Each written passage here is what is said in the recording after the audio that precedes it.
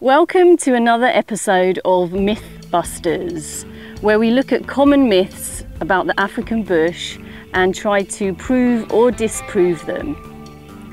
Today, we're looking at the myth that vultures are actually dirty or even spread disease. In truth, they are extremely clean birds. They practice preening themselves. Some species are actually involved in what we call allopreening, so they preen each other.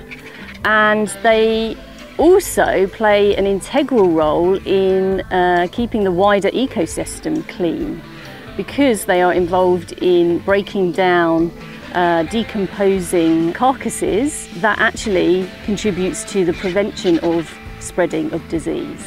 So I think we can safely say that myth has been busted.